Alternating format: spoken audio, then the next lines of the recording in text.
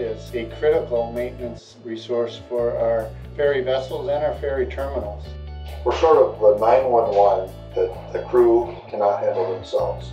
Everything we do at Eagle Harbor is in support of moving people and goods across the Puget Sound safely and in a timely manner. Our journey persons are the subject matter experts on everything out in the fleet. They're all very proud of what they do and dedicated. We take pride in the fact that we're doing our part to keep the economy flowing in Washington State.